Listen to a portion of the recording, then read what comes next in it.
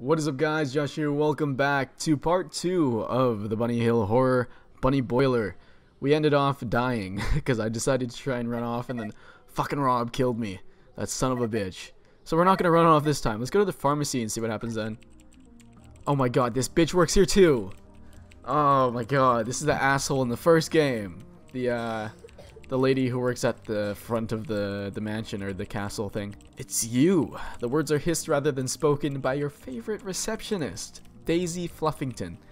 She sits behind a table consisting of syringes, vividly colored vials, and a tub of lollipops. I'll bet Len let you out, didn't he? You notice posters on the wall and a brand new book in a waste paper bin. The doorway is marked dispensary. Dispensary, ooh. Can I kill her with the darts, please? Yeet. Okay. You're a nurse now. What are you doing? Can I have a lollipop, please? Check bin, posters, dispensary, leave pharmacy. Okay. I will just go down the list, I guess. No, I'm not. I'm not just some bedpan emptying bimbo. I'm the lead pharmaceutical consulting administrator. What does that mean, you ask? Well, the first thing it means is that you'd better watch your step. If you don't return to your lowly duties in the castle immediately, it will go very hard with you. What are you doing? What am I doing? Who are you to ask? Daisy spends a few seconds composing herself, and a smile that doesn't quite reach her eyes appears. I'm helping people. You'll have heard reports of troubled folk using new drugs and becoming aggressive or catatonic. Catatonic. These can be ingested by accident, from touching contaminated surfaces or by breathing in the dust from the, the tabs. I'm offering employees shots of ter Teria, which gives resistance against these events. Would you like one? You've been such a great help. It's what you deserve. And it comes with a lolly. Daisy's smile Daisy's smile could no longer be any wider with wider without some sort of surgery. Yes, I'd love a shot, thank you. I feel like I'm being I'm gonna be a hamster here. Fuck it, we're gonna I died again, didn't I? Without waiting an instant, Daisy moves around the desk, ties a plastic band tightly. Okay, now I'm for sure dead, aren't I? what the fuck? Around your arm and gouges a vein with her syringe, and you wake up dazed in the car park. You're angry about this, very angry. But it's okay. With an onslaught of adrenaline, you know you could take on the world. Starting with the meat you can see outside the pub, you charge snarling towards the figure, but two gunshots fell you. They're just pinpricks, though, and you get back up. A third bullet is fired, and you die. Not a nice way to go, was it? It was also a bit of a silly decision, if you don't mind me saying. Well, have another go and see if you can keep your wits about you better this time. I love the death comments that they add here. Like this, this the sarcastic remarks. Not a nice way to go, was it? It was also a bit of a silly decision. I like that stuff. It makes the game a lot more funny and interesting. Uh, but yeah, let's try again. I guess we're not going to be accepting a shot. Uh, can I have a lollipop, please? Daisy fixes you with a look of horror, as if you suggested she'd join you in the disabled toilet for 10 minutes. No, these are my lollipops. As if a de demonstration was needed, she takes a lime green one up from the tub and crunches down on it. Crunches down on it? Not supposed to crunch down on a fucking lollipop? psychopath? Let's check the bin. The brightly colored book dumped in the bin is titled, uh, My First Chemistry Book, and is recommended for primary school children. There's a note attached to the front which reads, My dear friend Daisy, you're a nurse now. Very enchanting. I thank you English with your strange funny humor. What? It is the joke, no? You are my assistant. Very mirthful. I do bestow the book to help you. Is my joke a funny also? Most kind regards, Dr. Korova. Korova, is that Russian? You are nurse now. Very enchanting. Uh, what, what the fuck is a Russian? What do Russians sound like? You are nurse now. Very enchanting. I think you English with your strange funny humor. Is the joke, no? You are my assistant. Very mirthful. I do bestow the book to help you. Is my joke funny also? I I just me me me melded fucking three three different fucking accents together there. Okay. Check posters. Oh my god, Ozymandias. Stay indoors. Save lives like yours. The poster advises you to stay indoors. Save lives like yours. It appears to have been designed by someone who just discovered word art. Yes, it does. Very much so. I love this one. Oh, and they got the little, the little wavy font as well. Um, this sentiment Mercia Co. cares is illustrated by the sinister figure of Ozymandias offering a rose. Do you, Ozymandias, accept this rose? Uh, what else? We gotta go to the dispensary. You enter the dispensary to see several pharmacists at work. In the back of a woman with surgical gloves who responds to your footsteps with some irritation.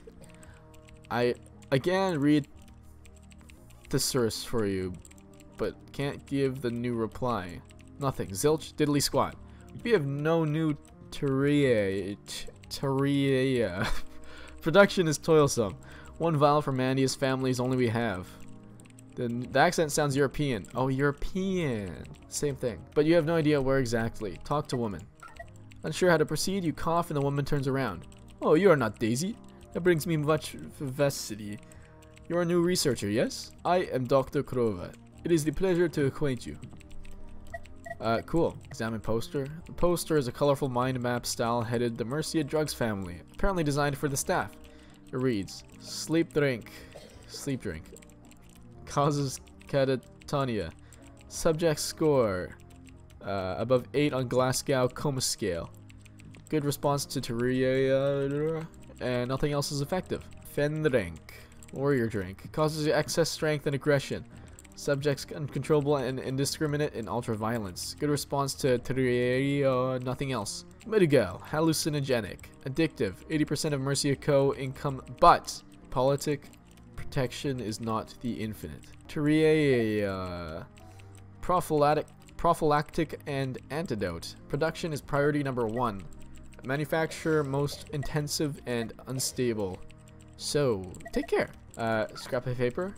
Pick up the paper and unravel it. Dear Dr. Kurova, You've only been on this team for a month and it regrets me to inform you that I am already concerned about your disrespectful jokes and unprofessional attitude. Rest assured, as your superior, I have escalated this matter to Sire Mandius, who sets great stock by my, my opinion. You're not as essential to this operation as you appear to think you are, so please comport, your, comport yourself in a comport uh, in a more appropriate manner in the future. Kind regards, Daisy Fluffington, BA ECDL. Senior Secretary to His Lordship of Mercia, Lead Pharmaceutical Consulting Administrator. Fucking bitch, I hate Daisy. Goddamn. Let's go to the safe. Safe is locked and it requires a four-digit combination to open. No, you correct yourself. A four-letter combination. Neither Dr. Kurova nor the other pharmacists seem to care that you're examining the safe, but that doesn't help you with the code. Curiously, a sachet of salt is taped to the top. S-A-L-T. Go. Wrong. Try salt, but nothing happens. Deep down, you knew it was never going to be that easy. God fucking damn it. I'm, I'm just holding the drinks with me this entire time, aren't I? Okay, let's uh, leave the pharmacy. We'll go back to the pub quickly. Uh, the bar, and then the condiments, because this is where the salt was, isn't it? Um, pick a pot. Oh, sodium, sodium chloride. That's probably what it's got to be, right?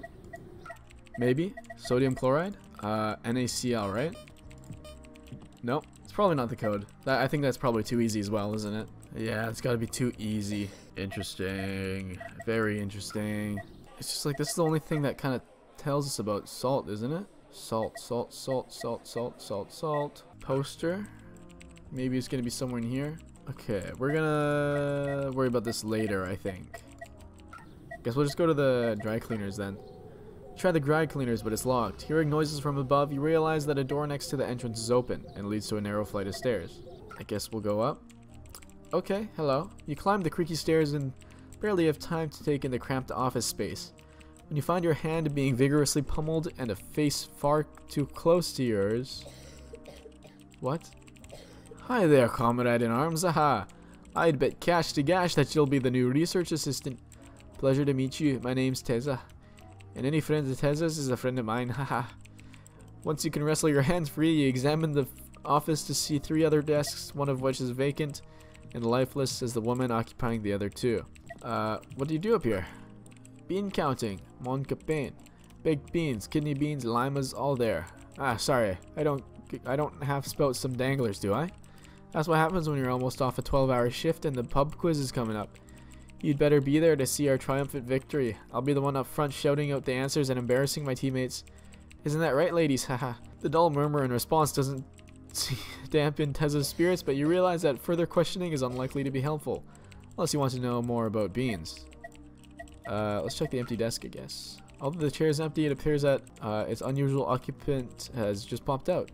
Coat and a handbag hang over the chair while a cup of half-drunk tea and then I love spreadsheets mug competes for space on a credit desk. The monitor has gone to sleep.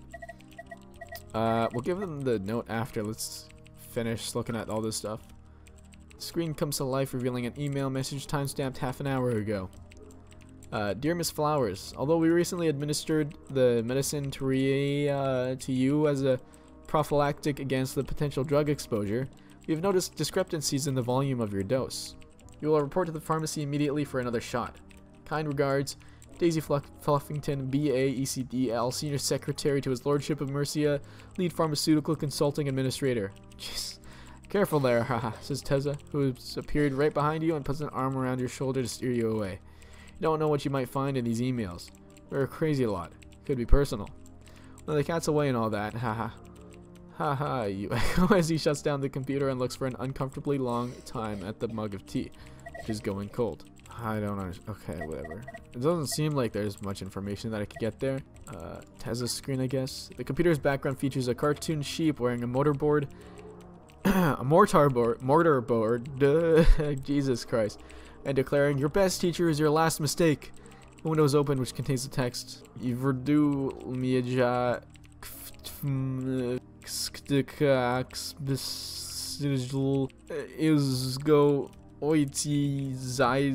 Okay.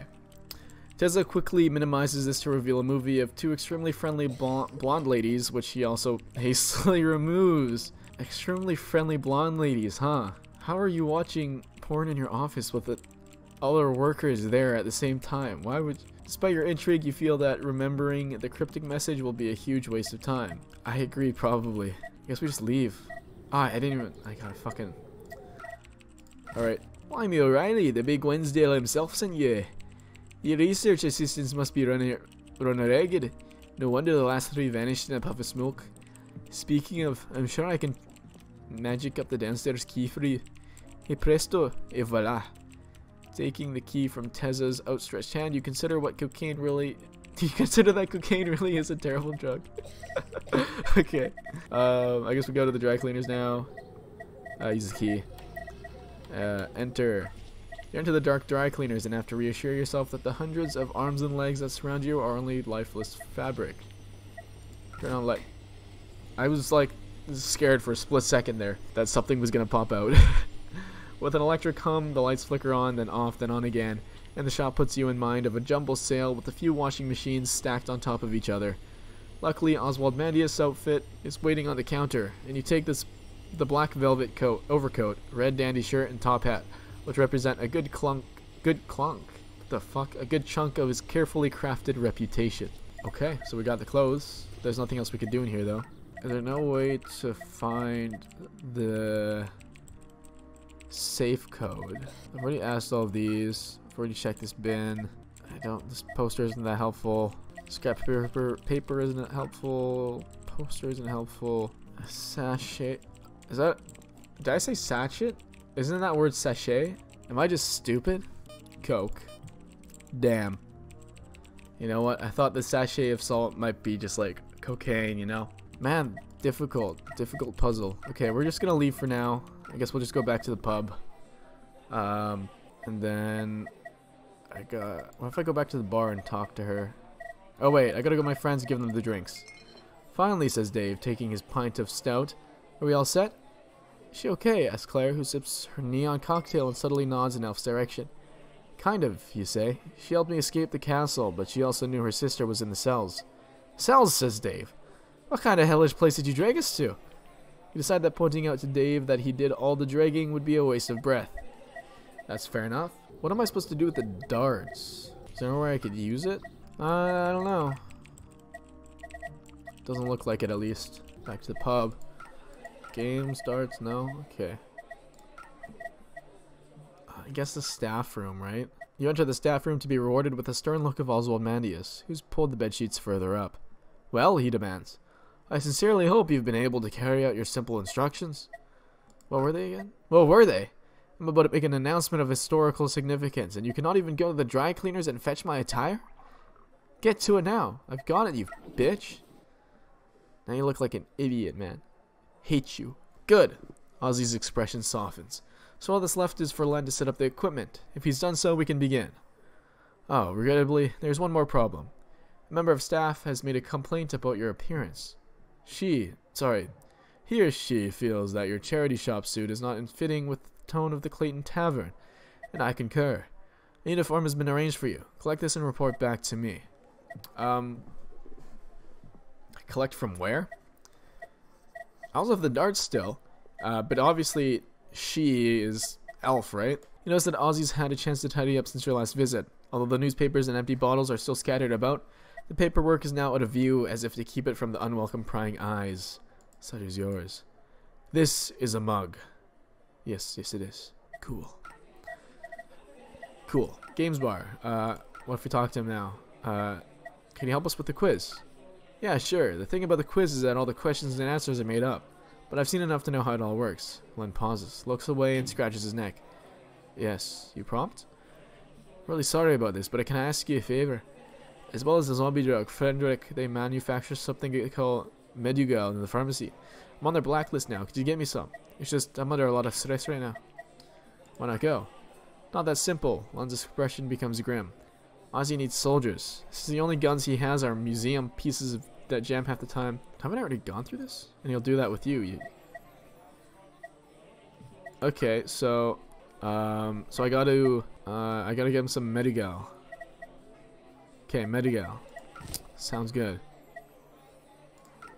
Um, so, oh, she's gone. Okay. The bar is now unattended, and the patrons have taken it upon themselves to make it a self-service, pouring their own drinks and leaving the money on the counter. If any miss having Elf to serve them, serve them, they can at least console themselves by the fact that most of their drink is no longer going straight into the drip tray. this is true, I guess.